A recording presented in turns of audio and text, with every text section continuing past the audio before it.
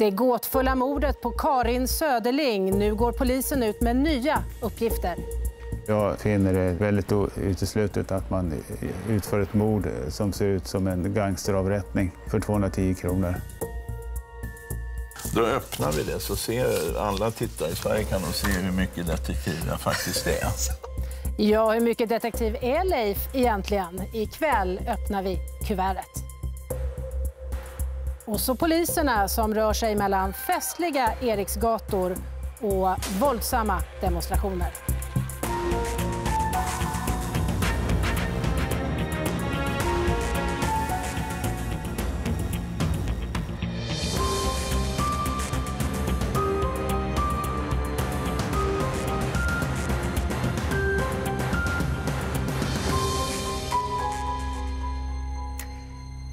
Mycket varmt välkomna till veckans brott.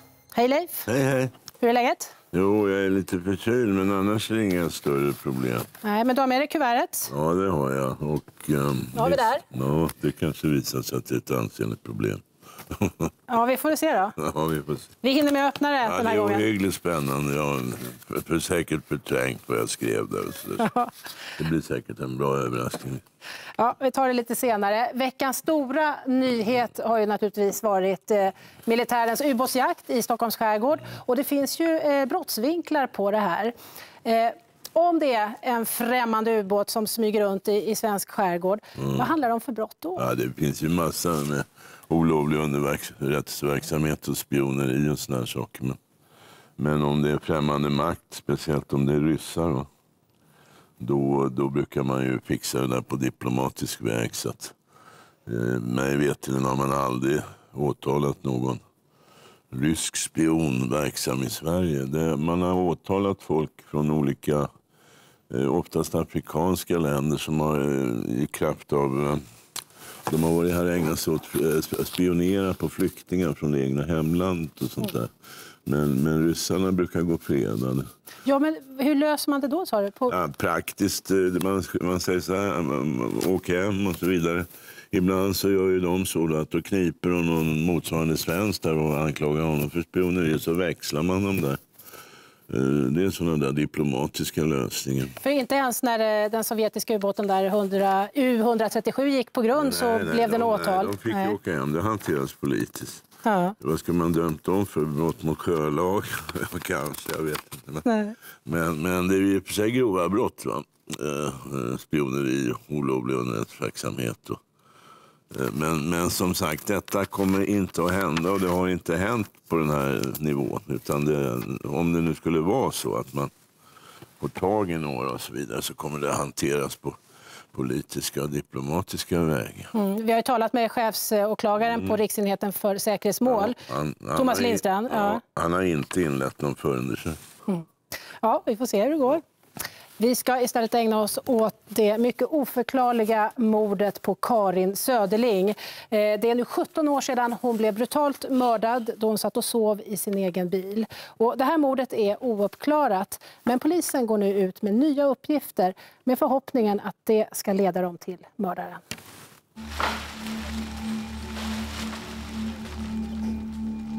Det är faktiskt väldigt ovanligt att eh, missbrukare råkar så här illa ut.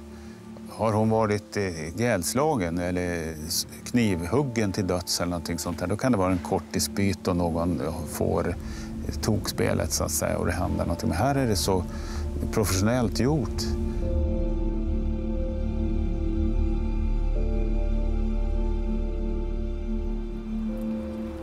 Karin hon valde att leva i samhällets utkanter.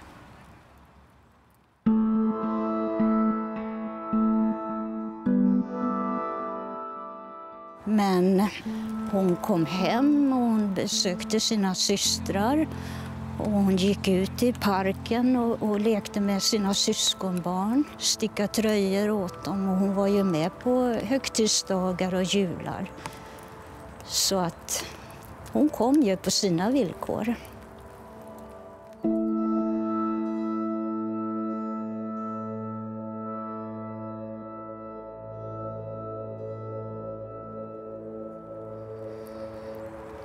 hur du kunde bli.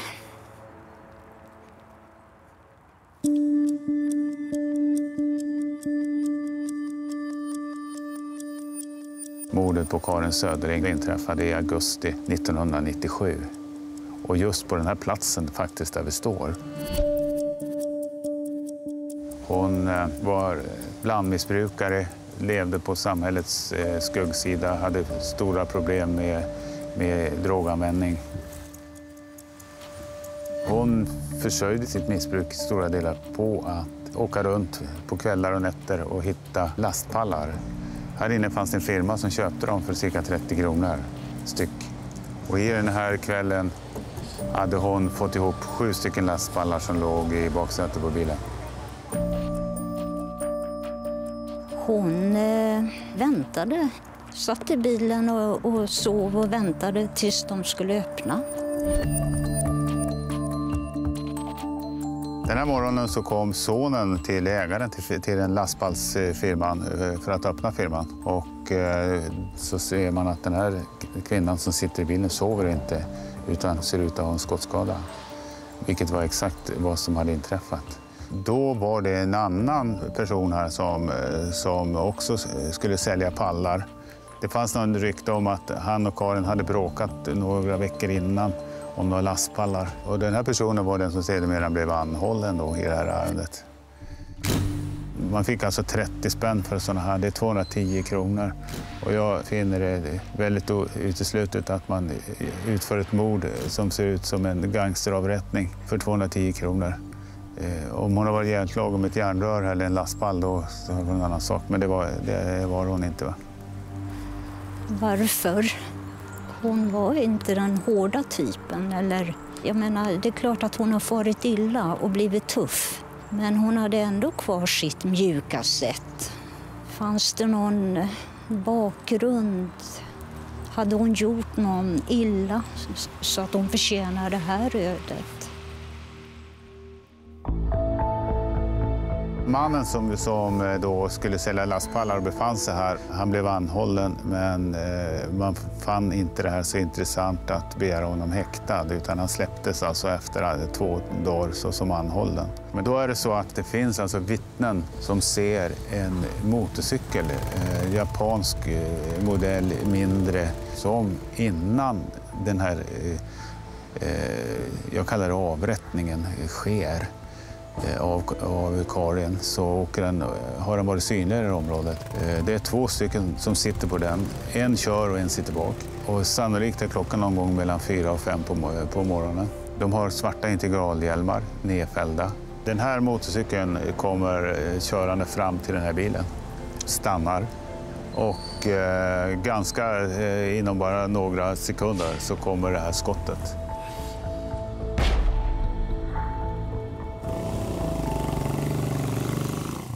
Några veckor innan mordet på Karin Söderling så skedde det ett inbrott i en bilfirma eh, där eh, då tre stycken eh, bilar stals med nycklar och kördes ut ur den här bilfirman. Och man stal också verktyg till ett värde över 100 000. Det visar sig att den som äger den här bilfirman det är en, en av de kändaste kriminella eh, grupperingarna som vi, som vi har här i, i Sverige. Då. Karins pojkväns äldre bror, han är den som låg bakom bilstölden. Han är idag död, så han kan vi inte prata med. Men däremot så vet vi eh, genom förhör med honom eh, under den tiden han levde att han eh, kopplat till den här bilstölden blev tvingad att gå under jorden. Och vi tror att det kan finnas en koppling mellan den här bilstölden, verktygsstölden och mordet på eh, Karin Söderling. Eh, man skulle utkräva hämnd för det här. Sannolikt så, så, så var absolut inte Karin Södling huvudmålet på något sätt.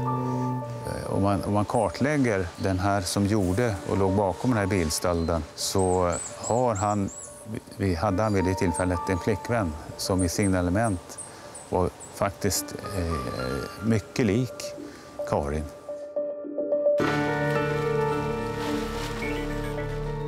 Är det nu så att hon har blivit förväxlad?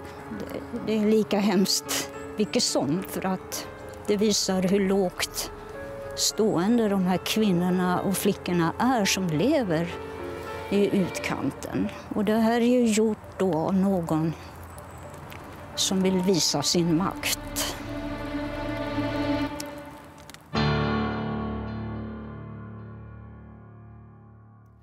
Ja, Leif, eh, polisen går nu ut med nya uppgifter och menar att mördarna egentligen eh, skulle ha skjutit någon annan än Karin. Mm. Håller du med dem om det? Ja, det har ju hänt faktiskt. Eh, Till och med när det har gällt sådana här inom organiserad brottslighet, att man har skjutit fel person. På senare år i Sverige så har det hänt vid tre tillfällen. Samtidigt så får man inte glömma, det finns en god regel som säger att om man, om man gör, har en mordutredning på gång så ska man inte krångla till det i onödan. Och det vanliga är ju ändå att mordoffret är rätt person. Va? Och så är det i mer än nio fall av tio. Men här är hon I det här fallet skulle det vara en person då eh, som, som, som har en, en ytterlikhet med henne och sådana där saker. Och som är inblandad i någonting som kan vara en konflikt med folk med lite, ja mycket hår på bröstet i sådana här sammanhang om jag säger så. Men om det skulle vara ett misstag, då, då, är det alltså, då tror ju polisen att det skulle vara en hämnd då, där man skjuter någons flickvän eftersom de har varit inblandade i någon bilstöld. Ja, ja, plus lite annat också. Men det är inte så mycket det som är intressant för polisen utan det är vilka som de har bestulit. Och det är alltså personer som är fel i den meningen, som inte tar sånt här stillatigande. Men, men man ska nog ha väldigt starkt på fötter för att, för att hamna där. Va? Att det här var ännu ett misstag på person. Va? Jag, jag är inte så villig att köpa det faktiskt. Och vi ska vara klara över att hur, hur, hur fredlig eh, hon än kan verka, Karin, eh, som narkoman och, och så vidare, så, så kan hon ha gjort saker, eller uppfattas som hon har gjort saker som kan motivera en sån här händelse. Polisen går ju ut med de här uppgifterna nu för att de vill försöka stärka den teorin. Då, då. Eh, Ja, plus att de vill kanske få någon att, att öppna truten på sig och komma in med tips. Och så. Ja, för vad är det för tips de behöver då, polisen? Där? Det är 17 år gammalt mord det här. Ja, ja, det är ju knepigt naturligtvis. Men det där med motorcykeln däremot tror jag på. Va? Det, är ganska vanligt i Norge. En som sitter bak på och skjuter och så en som kör. Och sen att man låter den stå på då för att dölja knallen från var. Så att det är nog så. Och det talar ju starkt för planering och allt sånt där. Eh, man får inte glömma bort att de sitter i sin egen bil och sådana där saker. Det brukar man ha bra koll på. Men du sa det att det, är inte vanligt, men det sker ibland att någon mördas av misstag. Alltså. Mm, ja, det händer. Det, händer. Det har bevisligen hänt. Va? Men, men torpeder är slarviga. De gör dålig research. Vi, vi hade ett fall, det var nere i Småland ganska nyligen, eller ett par år sedan, där, där han bevisligen går in i fel hus och skjuter en som inte har det minsta med saken att göra. Va? Han, han tar helt enkelt miste på vad det här till, tilltänkta offret bor. Och, och det var knepigt, men det fick man ordning på. Eh, Så det gick väl till domar ganska nyligen. Ja. Men, men eh, jag, eh, jag tycker nog grundregeln, va? krångla inte till det i onödan. Den ska vara, det ska till mycket för att man ska överge det.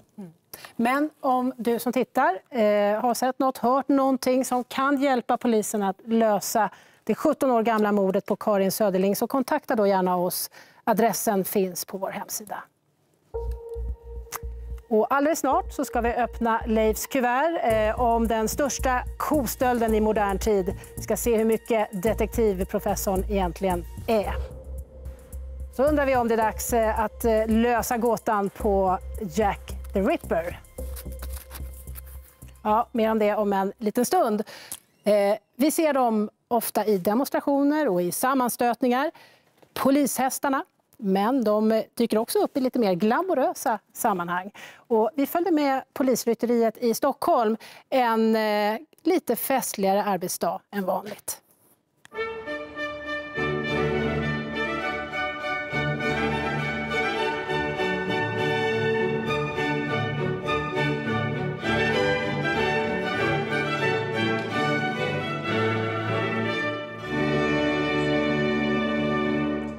Vad är det ni ska göra idag?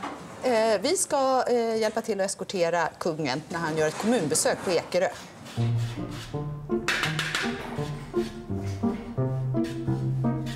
Det här är ju lite fest och trevligt och massa glada människor. Och, eh, det här hör till ovanligheterna, men det är väldigt trevligt för alla. Vad tycker han bäst om då? Demonstrationer eller Eriksgator? Nej, men Den, han, han är en stadshäst vill jag påstå. Han trivs bra nere på stan. Samhällshjälmen, det brukar ni inte ha. Nej, det är inte varje dag vi har den då. Men idag är det lite extra fint så då, då tar vi fram den. Det är viktigt nu när vi ska rida med kungafamiljen här att det ser bra ut. Ja. Vi har ju såklart skottsäker väst och sen eh, har vi eh, vanlig uniform. Eh, man kan nästan säga som polisens paraduniform. Så vi har kavaj och ridbyxor och ridstövlar på oss. Så, lite bättre. Han är intresserad av eh, mikrofonen där. Ja. De måste vara mentalt starka de här hästarna. Ja, men, jo, men det är de. Och sen är de ju ofta starka i Nej! Han, den, han checkar upp den.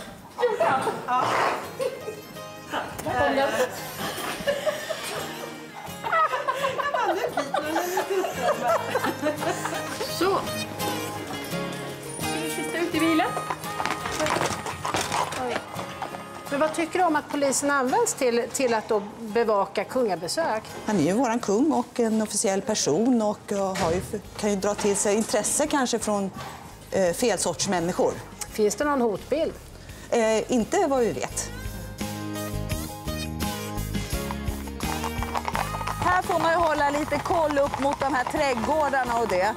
Vi ska ju skydda kungen och drottningen. Det är ju liksom vår uppgift i det här läget när vi rider bredvid vagnarna. Då är vi deras livvakter. Här någonstans har de pratat att det ska stå en, en eh, sjungande, eh, vad heter det, en kör, en barnkör, skolkör.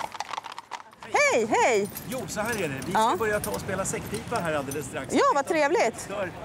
Hästarna. Eh, det tror jag inte faktiskt. Nej. Jag tror att det blir bra. Men du har fått eh, exakt vilken tid ni ska gå härifrån. 16.05 Ja. ska. Hur lång tid beräknar det ta för er att komma till Jag provgick igår och tog det 19.26. 19.26? Ja. Perfekt. Och då ska ni spela nu lite grann? Ja, precis. Jag Ja. får ju testa att inte hästarna är oroliga. Jag vet, vi har haft lite sådana problem under åren ibland. Ja, okej. Ibland, ja, Vi lyssnar gärna. det är bra. Oj, nu blir det säckpipor. Ni har öronproppar här i hästarnas öron. Ja, det är om man får någon reaktion på hästen. Det vill jag inte ha idag eftersom de kommer ju gå före hovstallets hästar och han får ju inte tveka någonsin någonstans. Vad gör ni nu när ni rider här? Dels så rekar vi vägen. Eh, Vi tittar om det är något speciellt som vi behöver tänka på, som hästarna kan reagera på. Eh, Finns det några speciella platser där det skulle kunna komma eventuellt angrepp ifrån? Ja, men det är här som eh, vagnen med kungen kommer gå. Ja, precis. Fast åt andra hållet då. Titta, här kommer hovstallarna nu. Oh no, oh no. Så, om ni aktar på barnvagnarna här! Ha! Backa lite! Rida Eriksgata eh, jämfört med att vara ute på demonstrationer. Vad, vad, eh, vad föredrar du? Det här är en annan koncentration och det är koncentration under en väldigt kort period. Det där är kungen som är drottningen i den bilen. Jag tror ni ser bäst om ni vänder om och tittar när de åker på sidan här. Vi är ju mycket i, demonstrationer annars, eller i folk, där det är mycket folk på samma plats och som kanske inte tycker lika och kanske vill försöka förstöra för varandra. Eh, och det kan ju bli lite mera våldsamt då. Det här är ju den lite mer flärdiga sidan utav vårt jobb. Ja, jättebra jobbat hörni.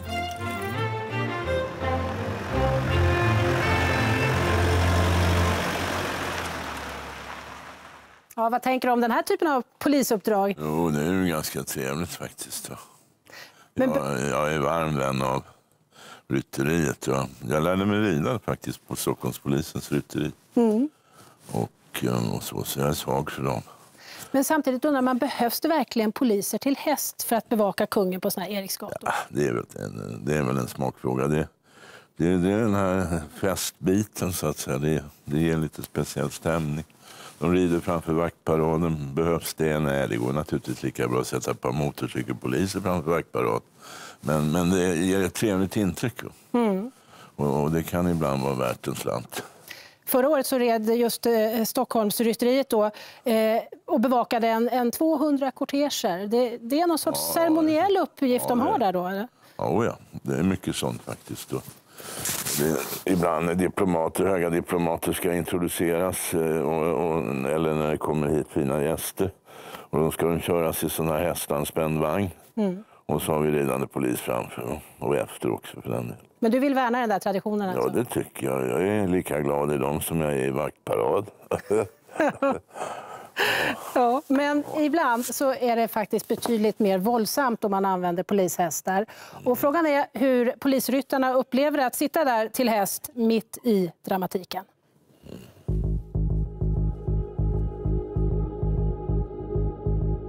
Polishästar används eh, dels vid demonstrationer och sen så används de vid, när det är fotbollsmatcher, framförallt derbyn, där man tror att det kan bli stökigt. Sen är vi ofta med nere på eh, cityhelg, eh, fredag och lördagskvällar, nere på stan och jobbar tillsammans med de andra poliserna. Duktig du var. Det här är en del av ditt jobb alltså? Att vara ute och rida så här i naturen? Ja, ja. ja det är fantastiskt. Ja.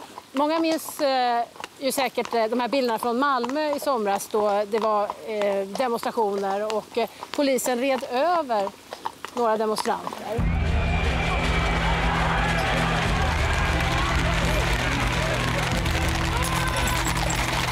Alltså vi jobbar inte så egentligen. Jag tycker att det var olyckligt. Jag kan inte svara för vad som hände där eftersom jag inte var med och jag är inte insatt i den situationen heller. Ni har ändå en taktik som går ut på att ni ska rida emot folkmassor. Nej, men det är ju om vi, om vi ska splittra en, en gruppering som vi inte kan omhänderta och där det är stökigt. Där vi måste liksom få bort folkmassan för att få ett slut på det som är stökigt. Eh, och då har vi en taktik att vi rider emot, men vi, försöker, vi ska ju gå lugnt emot en folkmassa. Eh, ursäkta, ursäkta, vänta. Ja. Finns ett vattentorn här uppe? ja, men det är ju det som är på höjden där. Du ser om du går här på vänster sida. Är det vanligt att du får visa vägen? De är väl lite orienterare. De vill hitta sina, sina kontroller snabbare. Det kan vara så att du, att du hör här nu att det händer något så att Ja. du måste rycka ut. Ja. Vad kan det handla om då? ja, det kan ju vara någon pågående misshandel någonstans. Eller eh, någon, någon eh, människa som är utåt, utåtagerande, någon blottare som står någonstans. Och det är ju inte ovanligt här i Liljanskogen att det står blottare lite överallt. Nej. Berätta, hur var det när ni jobbade i Kungsträdgården där före valet till exempel? Eh, ja, det var ju, blev ju väldigt stökigt.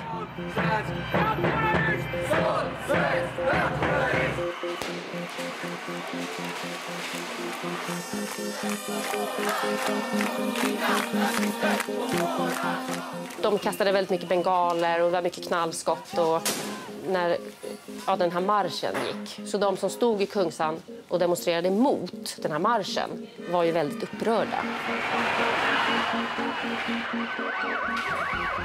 Och hur kändes det själv då att sitta där på hästen i den där situationen?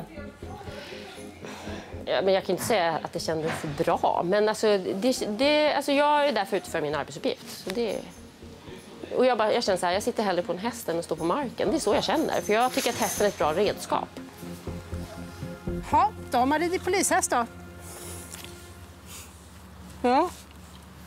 Gubben, gjorde du bra. Ja, men det där var vardag för dig då, förut? Ja, jag har ridit åtskilliga timmar på polishäst faktiskt. Ja. De är ju ganska angenäma som hästar betraktade. va? Mentalt starka, Ja, kloka. ja, ja, just det. Det- är ju inga racermaskiner direkt, men det, det kan man ju avstå ifrån. Poängen då med att använda dem just i demonstrationer och sammanstötningar? Vad... Ja, de är ju stora och respektinjagande och effektiva. Va? Mm. Men det är ju som hon säger här, att um, tanken är inte att rida ner folk. Va? Utan att man mer ska trycka undan dem och stoppa dem och så där, genom att flanka med hästarna. Men vid den där incidenten då i Malmö i somras så red polisen över fyra demonstranter. Vad, vad säger du om det? Det är lite svårt att förstå, för det är inte förenligt med hur man ska göra. De gör en ren kavallerichock i någon mening. Ja. Och det är inte tanken. När man ser dem då galoppera gatan fram så där, vad är syftet med att göra så? Ja, man vill splittra upp de här demonstranterna. Men det måste ha föregåtts av ett beslut. Va? Och det beslutet blir då lite märkligt eh, mot bakgrund av att man har ju ganska detaljerade taktiska bestämmelser för hur man ska göra sånt. Mm. De senaste 20 åren så är det eh, 15 personer som har anmält att de har blivit skadade av en polishäst, eller deras eh, saker kan ha blivit skadade. Det är 328 som har anmält att de har blivit skadade av polishund. Ja, det är ungefär den relation vi ska ha med tanke på mängden situationer där respektive hjälpmedel används. Mm. Men hundarna är också giftiga. Va? Ibland så, så hugger de ju ganska vilt omkring sig. Då får man passa fingrarna även om man är på rätt sida, så att säga, på jyckens sida. Mm.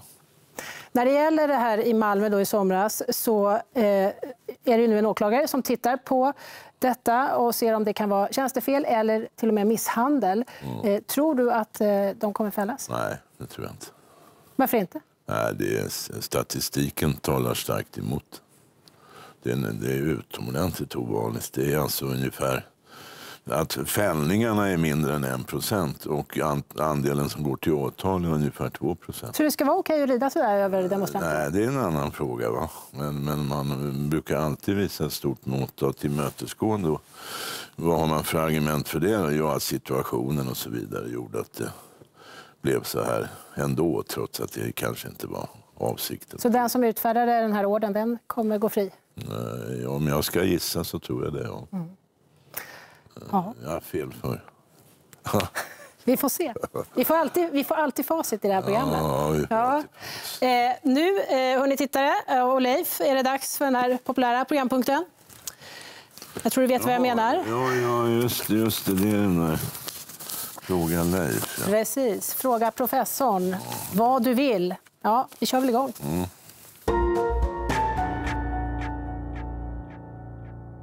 Emma Hjortman skriver så här. Livstidsfängelse ska bli normalstraffet för mord. Hur effektivt blir det och kommer det här eh, minska antalet mord? Ja, det finns ju en hake, att eh, lagföringsandelen, alltså hur stor andel av de här kommer att gå till åtal och dom, den är inte oväsentlig. Och med mer kvalificerade mord, så kallade spaningsmord, som är i och för sig det är ungefär en femtedel av samtliga mord, så, så är det så att uppklaringen är långt ifrån fullständig. Och eh, de föregås ofta av ett annat mått av planering och sådär. Så att där tror jag inte man ska räkna med några jättestora effekter. Det, det är en hake med just det allra grövsta våldet. att det, det är så situationsrelaterat. Va? Så det sista som folk tänker på när det här händer, det är vad som kommer att hända sen. Mm.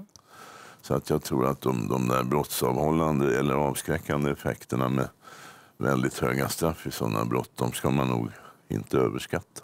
Så det är då en, mer en signal eh, att samhället Ja, är tycker att det här är, det är en väldigt signal allvarligt? både till omgivningen, samhället, men framför allt till offrens anhöriga. Mm. Att man ser på det här med stort allvar. Mm.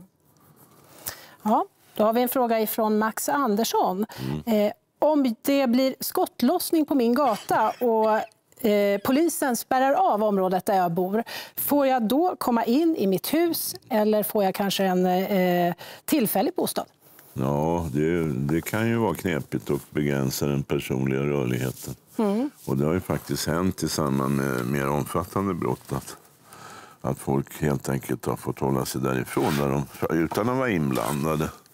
Utan enbart i kraft av att de bor i närheten till den här händelsen. Ta in på hotell eller flytta hem till goda vänner och så vidare. Mm. Vi hade, jag hade ett sånt fall i somras där i mitt närområde nere i Sörmland, i Gnesta. Där inskränktes ju rörligheten och tillgången till det egna är ganska ansenligt för, för, för flera grannar under förhållandevis lång tid. Så polisen betalar hotellnätter då? Alltså? Ja, vars, det kan man göra under speciella omständigheter, men det är långt ifrån givet. Den första rekommendationen är väl om man inte har någon som man kan bo hos, som man känner och så vidare. Mm. Men, men oftast, det, där är ingen vanlig situation. Och är det väldigt viktiga saker så kan man få hjälp av polisen. Eh, om det är något man till varje pris måste ha, som sina hjärtmediciner och sådana Mm. saker, så brukar det lösa sig på bästa sätt. Om du som tittar har någon annan fråga till professorn, skicka den då till oss. Adressen finns på vår hemsida. Och är det så att det mest klassiska av alla klassiska mordmysterier håller på att lösas? För några veckor sedan så kom ju nyheten om att man med hjälp av DNA-analys kunnat avslöja vem det var som var Jack the Ripper. Och Leif han var ju i London för ett par år sedan och följde Jack the Ripper i spåren. Vi hade tänkt berätta den mest kända historien någonsin i världens kriminalhistoria. Nämligen berättelsen om Jack the Ripper. Det första mordet som Jack Uppskäraren begår, det begås bara 100 meter därifrån jag står. Och det är den 31 augusti Eh, 1888, för snart 124 år sedan. Sedan så kommer då samme gärningsman, Jack Uppskäraren, att inom loppet av 70 dagar begå ytterligare fyra mord. Jag har varit på alla brottsplatser nu och tittat och jag har börjat pilla på en så kallad geografisk profil för att utifrån brottsplatsernas belägenhet räkna ur, ut var, var någonstans gärningsmannen bor eller har sin bas. Och gör man det eh, enligt eh, traditionellt mönster så kommer man att hamna någonstans i mitten av den här cirkeln på Whitechapel Road. Bland de här poliserna som ledde utredningen under 1888 så har man fastnat för en av dem. Och, och jag står nu framför hans grav, eh, nämligen Aron Kosminski. Vad vet man om, om Kosminski? Ja, han var rysk-judisk flykting till England och han hamnar i Whitechapel och eh, kommer så småningom något år efter det sista mordet den 9 november 1888 så kommer han att tas in på mentalsjukhus. Sen vistas han där under långa tider till och från. 1919 så, så avlider han. Det, det är den person som enligt spaningsledaren var Jack the Ripper.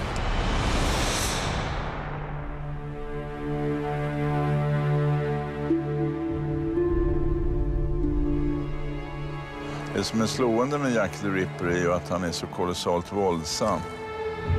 Det sista mordet är, är ju gräsligt bortom ja, i stort sett mänsklig begriplighet. Va?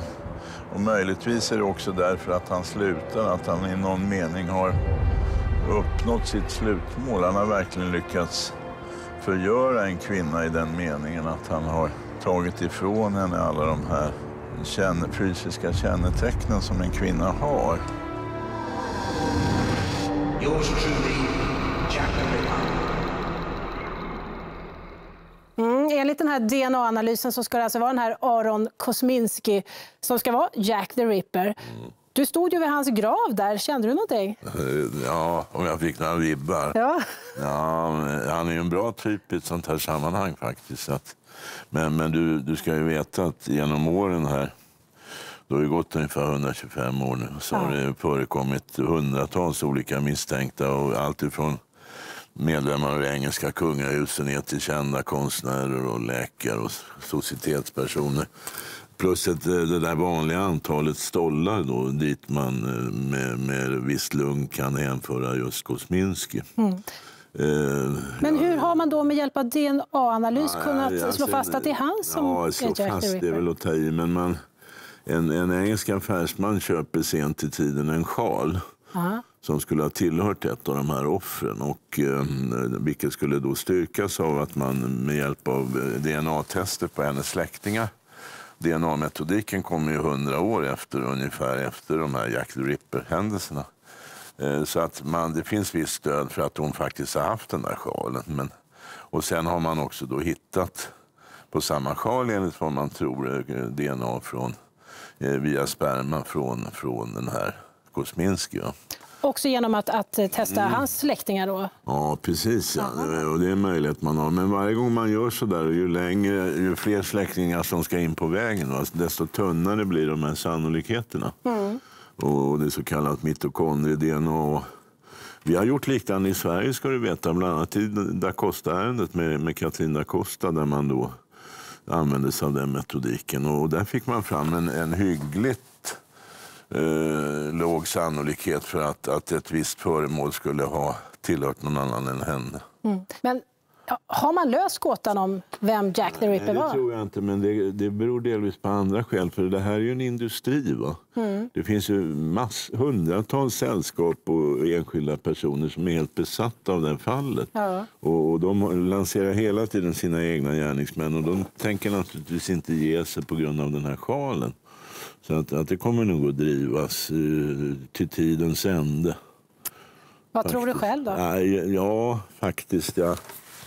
Eh, Det talar i vart fall eh, det talar mot Kosminski. Alltså, eh, det, det, det är inte till hans fördel om jag säger så. Det, det, så jag, det är så jag tolkar Mm. det. Det kan ge viss stöd för att det nog var han ändå. Men, men min förtjusning i honom kommer sig mer av att de brukar se ut ungefär som han. Mm. Så det var incitamentet till att jag hamnade just vid hans grav. Ja. Hörni, alla ni som väntat. Nu är det dags för det här. Här inträffar svenska kriminalhistoriens största boskapsstöld. 69 stycken biffkor. Det här har ju gått rakt in i hjärteroten på svenska folket. Det, ja, det här är första kostölden i min karriär. Men, men om jag hade fått det där ärendet och varit polis va, så hade det varit uppklarat så här dags. De där är ingen lätthanterligt stöldobjekt ska du veta. De är ganska motspänstiga och besvärliga. Jag är nog ganska klar över vad det här handlar om. The truth skriver jag. När det hela har fallit på plats. Ja. Då öppnar vi det så ser alla tittare i Sverige kan de se hur mycket jag faktiskt är. Ja, det var en misstänkt eh, boskapsstöld. Eh, 69 kor försvann från en gård i Sörmland eh, natten till den 19 december 2012. Och Leif, hur började det där? Hur kom du in i det hela? Ja, anledningen till att eh, det var faktiskt... Jag bor där nere. Mm. Jag bor granne med den här kobonden och eh, det var faktiskt han som kontaktade mig. Och anledningen var att det pratades en enastående massa på byn. Va? Och där var det inte skuldfrågan som plågade folk, för den betraktade man som klar. Och han ringer mig, kontaktar mig för att han vill att jag ska få någon ordning på det här. Liksom. Han, han hävdar då att han är oskyldig. Jag var mycket rak mot honom. Jag sa äh, att ibland så, så ligger den här, det lokala skvallret har erfarenhetsmässigt en viss polisiär bäring. Och, och jag, i, i, med tanke på vad som hade hänt i det här fallet så såg jag då olika möjligheter. Han var en av dem. Han hade hittat på alltihopa. En annan möjlighet var att det var en anställda hos honom som hade gjort det. Eh, den här natten har han också han har, han har beställt, eh, han ska skicka djuren till slakt på morgonen. Att exempelvis den här eh, slakterifirman kan ha lurat honom och kommit tidigare än vad de skulle. Det fanns tre eh, troliga alternativ, men alla på samma tema. Men jag minns också hur du verkligen gick igång här. Du talade om, om den kanske eh, största boskapsstölden i svensk Ja, ja, kriminalhistoria. ja, det är det definitivt. För att den, den största före den här, det var tre kor som försvann i Värmland. Va? Ur någon hage där. Så det här är gig- gigantiskt och den gick runt i världspressen. Den, jag tror till och med att den var på New York Times första sida. Biggest cattle theft in eh, Scandinavian crime history. Ja, och det, det, detektiven i dig satte igång där. Du tyckte det, är var spännande. Ja, men en kostöld det är ju oemotståndligt. Va? Det, det, det är klart, jag var förlorad från början. Ja. Och sen så inleddes då polisutredningen. Eh, Efter några veckor så tog det ju en helt ny vändning. Eh, Istället så riktades misstankarna mot bonden själv. Han blev anhållen. Och eh, då, Leif, då fick ju vi faktiskt ett problem. Ja, det är klart vi får. Eh, för att, att vi ska inte... SVT är noga med det. Det är inte alla som ska du veta. Mm. Att vi ska inte lägga oss i pågående förundersökningar i den här typen av program. Vi kan uppmärksamma brottsoffer, men vi ska vara väldigt eh, försiktiga ja, när det gäller att peka ut misstänkta. Och, ja. Ja, och då väljer jag liksom att, att, eh, att lägga bordlägga frågan med hjälp av det här kuvertet, så att säga. Mm. Och, och det är ju ett tag sedan. I början av sommaren nu Istället för att spekulera så skrev du in ner Ja, så här jag vad du skrev vad jag då det i skulle... det läget eh, anser om detta. Ja. Mm. Och sen i maj här så kom ju domen då. Ja, för att det tog, en, det tog ett år för polisen att utreda detta. Du var på rättegången och då var ju alltså bonden misstänkt för försök eller förberedelse till grovt bedrägeri. Vad hände där på rättegången? Ja, det, det var en mycket sorglig tillställning faktiskt. Den, den visar då på en polisiär förundersökning. Det är ett genomgående tema i den här rättegången. En väldigt illa skött förundersökning. Och en åklagare som faktiskt inte lyckas presentera något begripligt alternativ. Eh, kobonden är mycket entydig och enkel. Han säger så här, jag har blivit bestulen på 69 kort, punkt. Åklagaren säger, det har du inte alls det. Eh, du har av olika ekonomiska motiv, det kan vara bidragsfusk eller vanlig dålig privatekonomi, så har du eh, fingerat det här. Det, det har aldrig stulits några kor, de har försvunnit innan under verksamhetens gång och nu vill du ha pengar från försäkringsbolaget och i storleksordningen 550 000 kronor. Eh, där har du den rättsliga motsättningen. Och, och läser man domen så är det ju en väldigt skarp vidräkning med polisens sätt att sköta Mm. det här.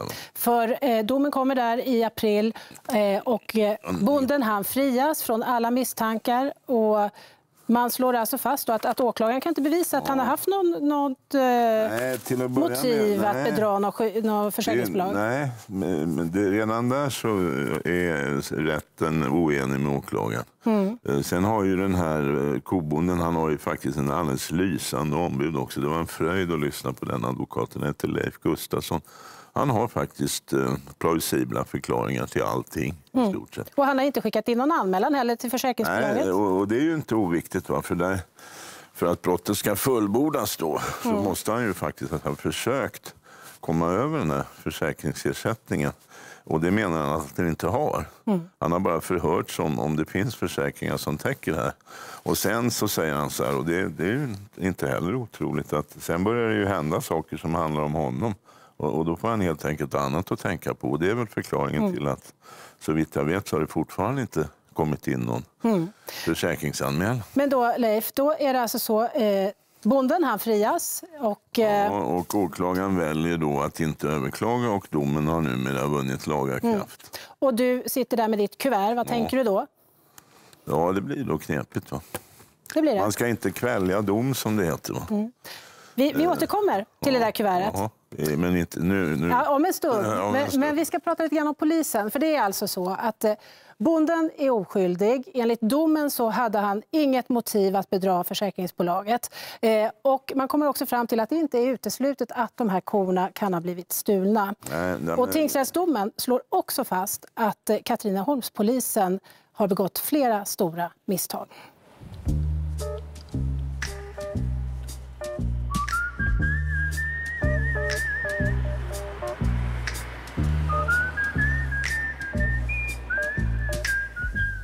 Brottsplatsundersökningen börjar inte förrän 30 timmar efter att eh, bonden anmälde den misstänkta stölden. Varför tog det så lång tid? Beklagligt är det, men eh, jag, jag kan inte svara på varför. Kan jag, inte. jag vet inte vilka överväganden som gjordes. Ett av såren som vi aldrig kunde läka det var ju då det här med platsundersökningen som inte hade skett och eh, ett annat var ju då folk som inte hade blivit hörda som hade lämnat landet och det fick vi ju lida för hela tiden och det blev tyvärr aldrig gjort. Ni får ju också kritik för att ha gjort en slarvig brottsplatsundersökning. Eh, varför gjorde ni inte någon undersökning i ladugården till exempel? Jag kan tänka mig att teknikern på plats eh, gjorde en bedömning att det inte fanns några spår att hämta där. Det är ju svårt att hitta spår efter personer inne i välstädade hem och inne i en smutsig lagård. Så kan jag tänka mig att det är ännu svårare. Om man råkar ut för saker som man aldrig har varit med om tidigare då måste man ju dessutom ha väldigt god fantasi. Saknades det? Eh, kanske, jag kan inte uttala mig om det riktigt. Eh, kommer man dit 30 timmar senare så är det svårt eh, att kunna göra något vettigt, även om man har god fantasi tror jag. Domen som friar bonden är ju ovanlig på ett sätt. För, då, för den, där skriver man uttryckligen att, eh, att det finns en rad brister i polisens eh, utredning som gör att man då inte kunde slå fast vad det var som hade hänt. Det är ju ändå allvarlig kritik som riktas mot er. Ja, vi får acceptera domen. Och, eh, om man hade förstått att det här är en stöld som är i halvmiljonklassen, kanske lite mer än det, så då borde man ha tagit det på större allvar. Jag är ju pensionär. Va? Men, men om jag hade fått det där ärendet och varit polis va, så hade det varit uppklarat så här dags. Alltså jag tycker att GV hade i, viss mån rätt i den kritik som han hade, bland annat då vad gäller eh, brottsplatsundersökningen. Sen tycker jag väl då att han kanske inte borde raljera så mycket som han eh, har gjort beträffande våra insatser. Sveriges historiskt sett största kostöld. Det är ju häpnadsväckande. Jag förstår. Alla ungar som jobbar på polisen i Katrineholm, de här yngre förmågorna, de är ju eld och lågor. Och, och, och så, så sitter de här trist, trötta gamla buteljkorkarna. Det är alltid lätt att sitta med facit i hand och säga vad som borde ha gjorts. Eh, Och det är alltid eh, också lätt att eh, kritisera när man inte vet vilka resurser som fanns vid just det aktuella tillfället. Och polisen Sune Asp här, han kom in i utredningen först efter några veckor då de största misstagen hade begåtts av polisen. Nej, Han är inte den värsta. Nej, men, men jag måste ändå fråga dig, för att för polisen i Katrineholm de uppfattar ju att du raljerar över deras Ja, arbete. Jo, jo, visst, men för att jag ska kunna stå ut med vissa typer av människor va? och deras så kallade eh, professionella kompetens så har jag valt det där i- ironiska avståndet framför att bara falla död ner beroende på att jag fått en hjärtattack eller en hjärnblödning. Så det får de väl leva med. Då. För de begår ju faktiskt flera stora misstag. Hur ska man förstå det då? Ja, eh, obegripligt. Jag tänkte mig, kanske hade de någonting att göra. Han ringer ju faktiskt kobonden ganska omgående till dem så fort det är, eh, jag tror det bara en kvart efter det han har upptäckt vad som har hänt. Då ringer han till polisen och gör en anmälan och berättar. Eh, Jag menar, de, de kanske inte håller på med kor, men de måste ju fatta det att det ett eh, 70 biffkor representerar ett ansenligt ekonomiskt värde. Har de haft något viktigare brott den där dagen som de måste titta på? Nej, så vitt jag kan se så har man inte haft det. Va? Det här är nämligen en av de enskilt största stölderna som enligt anmälaren då, som begås i, i, i Sörmland. Men de talar ändå om att du inte vet vad de har för resurser och att eh, De hade väl annat för sig, va? det kan vi enas om. De kommer inte dit förrän efter 30 timmar. Och det kan man ju faktiskt inte lasta kobonden för. Va? Så han vill ju ha dit dem på momang. Nej, för kobonden han frias i den här domen. Är det så att, att det är snarare polisen som fälls i domen? eller? Ja, det tycker jag nog. Det är mycket ovanligt att man ser domar som innehåller en så skarp vidräkning med åklagarens underlag, det vill säga polisens förundersökning. Och den är genomgående. Där saknas motiv. Mm. Åklagaren inte kunna ge någon beskri- be- begriplig beskrivning av hur, det här gått till.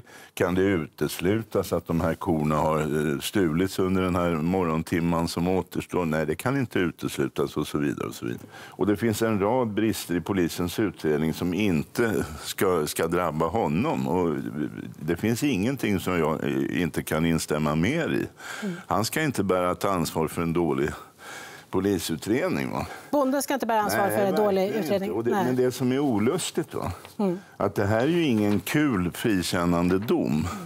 Och man får nästan lite ett intryck då mellan raderna att hade polisen bara gjort som de skulle, vilket de inte har, så skulle han ha suttit i finkan så här dags. Men det är ju inte alldeles sagt att det är så. Va? Mm. Det kan ju mycket väl vara så att hade de gjort en, en sån där invändningsfri polisutredning så skulle det här aldrig ha gått till åtal. Mm. Om vi tittar här då i- igen. Eh, här har vi en modell över gården. Eh, för det fanns ju vittnen den här natten, eller hur? Ja, ja det, det snöar ju va? Och, Mm. det är december och ett jävla väder. Och det här är då Plogbilar, ja. plogbilar som kör De passerar här under hela natten. Och enligt dem då så, den tid som återstår för att göra det här, för de har ju inte observerat några aktiviteter uppe, det är bara 100 meter här emellan vägen där de åker. Mm. Och det här är då det där kostallet där det skulle ha hänt. Mm. Enligt, enligt deras vittnesmål så återstår det bara drygt en timme då på morgonkulan mellan kvart över fyra och kvart i fem. En och en halv timme ungefär. Där. En och en halv timme, ja. För de har kört här några gånger. De har, ibland ser de däckspår, ibland gör de det inte. Ja, just Ja. precis. Allt eftersom de plogar. De, de här däckspåren man uppfattat som traktorspår. Ja. Men du, du, du säger att eh, de ser ingen aktivitet. Men, men eh, betyder det att det inte har varit någon aktivitet? Nej, det behöver det naturligtvis inte heller betyda. Va? Det kan ju vara så att de inte ser aktiviteten som pågår där. Men, eh, För, för de, det- plogar, de plogar vägen här. Vad gör de ja, men du vet, det är inget långt avstånd. Och de, de är ganska säkra på att det är tyst och lugnt där uppe. Mm. Och om det ändå stämmer att det inte försiggick någon aktivitet här på gården eh, under de tidpunkter som vittnena då passerade, då finns det ett utrymme på ungefär en och en halv timme då den här kostölden skulle ha kunnat ägt rum enligt domen. Eh, frågan är då hur svårt det är att lasta djur. Vi hängde med en morgon och tittade. Ja, nu kommer transporten här. Då trycker jag igång eh, tidtagaren nu då. Vi ser hur lång tid det här kommer ta. Hur många djur tar du in i den här transporten? Där? 16 stycken får vi med i transporten om det är normalstora. Ja, kommer det Eh. vara knepigt att få in dem? Eller? Man vet aldrig, men det kan ta allt ifrån en halvtimme till en timme. Eh, Urban, ska vi köra tre och tre eller? Ja, då ska vi se då.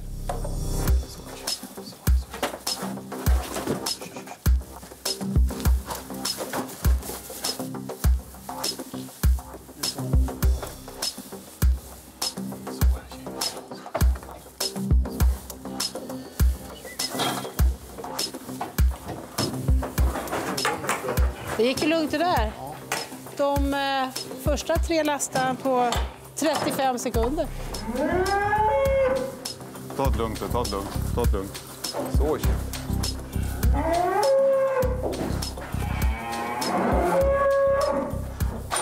Får alltid de där som är räddast kvar till sist. De är inte övertygade om att det här är... Rätt väg, nej. Vad är taktiken här? Vänta, vänta ut då. Vänta ut. Ja. Ja. Inte gorma på dem. Nej, då, då blir det tvärtom. Dessutom kan man bli skadad. Ja.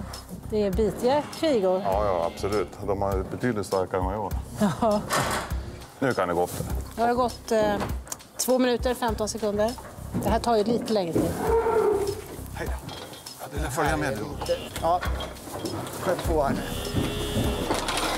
Nej, det här var knepigare.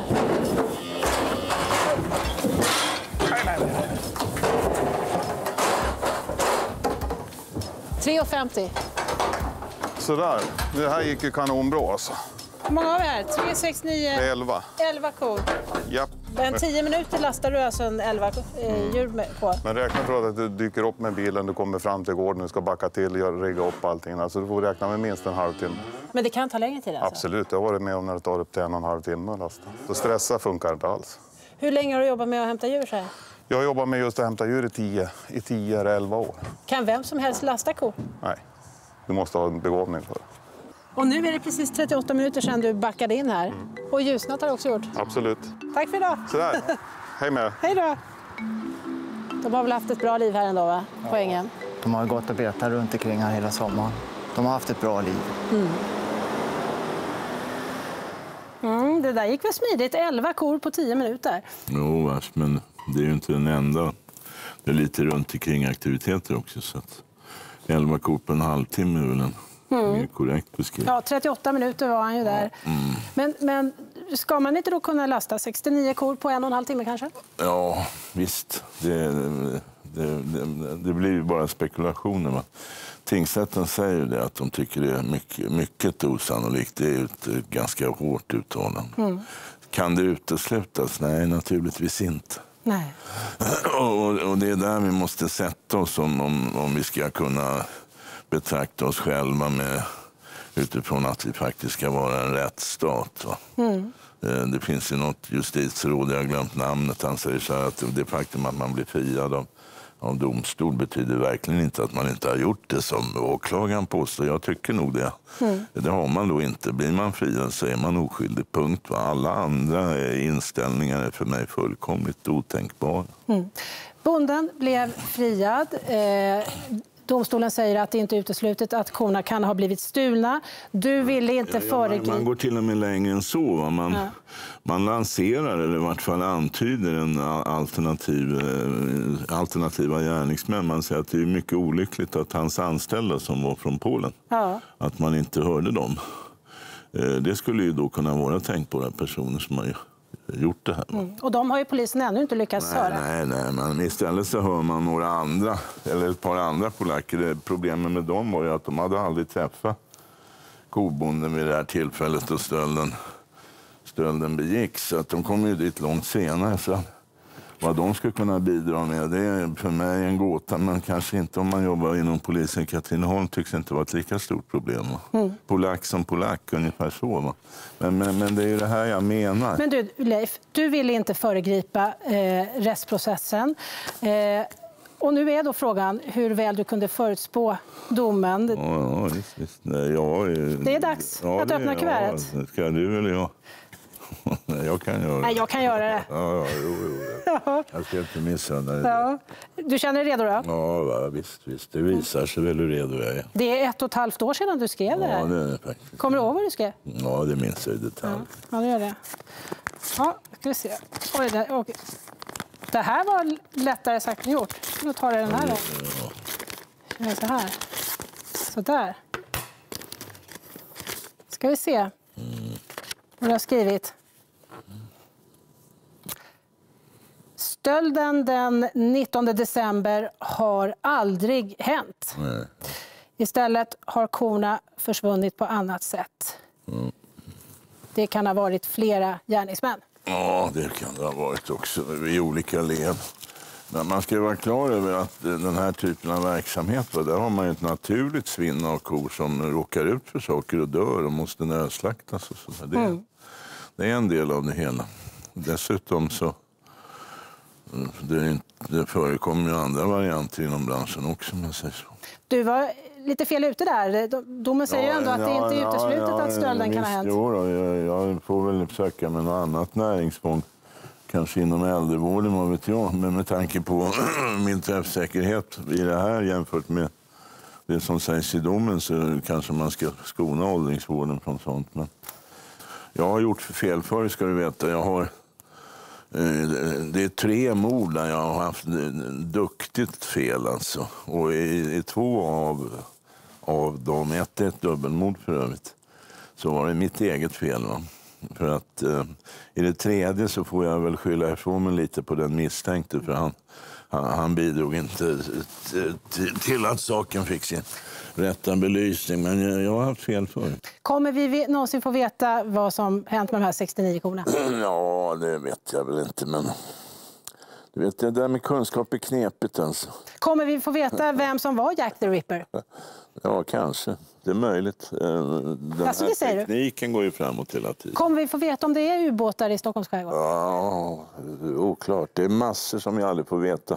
Och, och I sådana lägen så är det väl tyvärr så att man då, då hemfaller man till sin egen övertygelse. Men den ska inte förväxlas med sanningen. Jag är lite... Kanske jag, jag måste jobba mer med mig själv när det kommer till sånt. Ja, vi får leva i ovisshet, men en sak som faktiskt är säkert är att vi är tillbaka nästa vecka och då ska vi uppmärksamma försvinnandet av sexåriga Jasmina för 17 år sedan.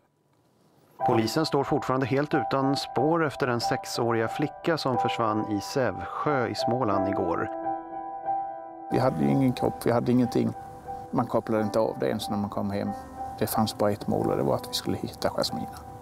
Ett sexårigt barn ska inte försvinna. Absolut inte.